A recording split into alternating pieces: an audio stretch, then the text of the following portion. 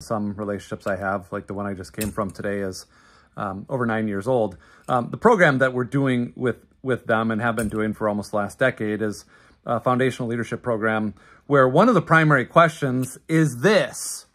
Who do you want to be while you're doing what you're doing? Now, there are two inherent questions in that statement. Number one, who is it that you want to be? And that question is broken down into two, two, two parts. One, who are you right now? And who ultimately do you feel called to be or are you uh, evolving to be?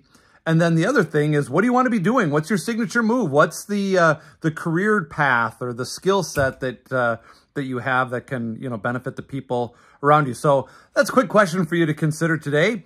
Who do you want to be while you're doing what you're doing? The fact of the matter is, those two questions are very important on their own, but the most important one is, who is it that you feel called to be?